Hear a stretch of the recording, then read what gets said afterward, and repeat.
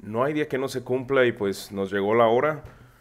Estamos aquí supervisando un proyecto bastante grande que es la graduación, yo creo. Ya no voy a publicar más estampados que sean textura de rocas, gris oscuros, porque ya hay bastantes videos. Entonces eh, decidí hacer este video un poquito cortito para que no sea tan largo. Vamos a colar un elemento bastante grande y para ello pues bomba de brazo, un espesor de 15 centímetros sobre una superficie con muchas pendientes, por lo cual te recomiendo usar escandillón. Si no sabes qué es escandillón, ahorita te lo vamos a mostrar. Se empieza a colar. Aquí ya teníamos unas muestras de nivel con las cuales empezamos a hacer nuestras venas con una regla de 6 metros que se ve bastante chica porque pues el área es gigantesca. Y si te fijas todo tiene malla electrosoldada y ya tenemos listo nuestro color endurecedor.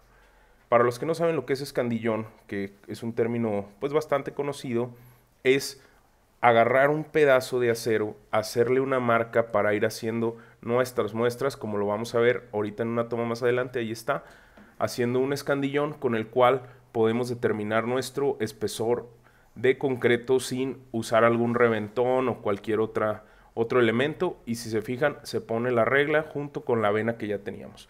Una vez hecho esto y dicho esto, pues ya saben el proceso normal. Hay que empezarle a aventar nuestro color endurecedor a toda la superficie. Aquí tuvimos que apurar el pintado, pueden dejarlo un poco más que seque, pero aquí como nos daba el sol a plomo y es una cantidad gigantesca de concreto, pues lo ideal es irle avanzando en lo que se va pudiendo. Obviamente ya sabes, juguetitos grandes, gran llana, flotas fresno, nada de pura herramienta manual. Aquí sí o sí necesitas indumentaria grande.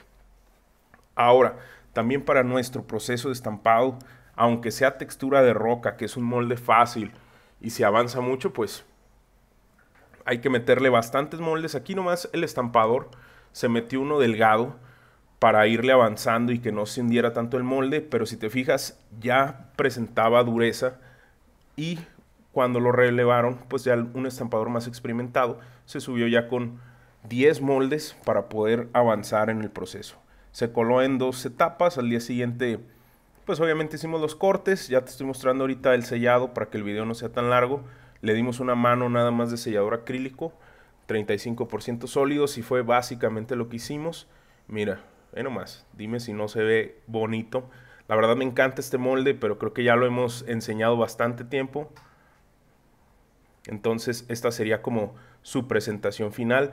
Y los dejo con un pequeño clip de cuando ya fui a ver lo de la obra. Todas las, las losas se juntearon con Cicaflex. Se, se le hizo un proceso totalmente normal de calafateo, como ya lo han visto en muchos videos. Y adicional hicimos una pequeña zabaleta perimetral para evitar filtraciones de agua, que era el problema principal que tenía esta, pues este cliente. Espero les haya gustado este video, bastante corto, pero creo que dejamos cosas bastante claras sobre el proceso de, estampado con este molde. Vamos a estar mostrando más moldes y más colores para que no sea tan tedioso. Ya saben, si les gustó, pues dejen su like y abajo están los comentarios, cualquier cosa que quieran agregar. Que estén muy bien. Miren amigos, así finaliza este proyecto. Una obra grande, muy grande. Yo vi un poco, obviamente quedan unos charquitos pues en las partes más hundidas del molde, pero tienen bastantes pendientes esta, esta losa. Está sellado, 35% sólidos a una mano. Y vean lo que padre se ve. Bueno, espero les haya gustado esta obra. Le hicimos también la zabaleta perimetral. Luego les voy a enseñar la proporción. Quedó bastante bien. Sellamos con Cicaflex todos los cortes. Y pues bueno, espero les haya gustado este video. A mí me gustó bastante. Y soy el ingeniero Lazo. Ya saben, estamos a sus órdenes. Hasta luego.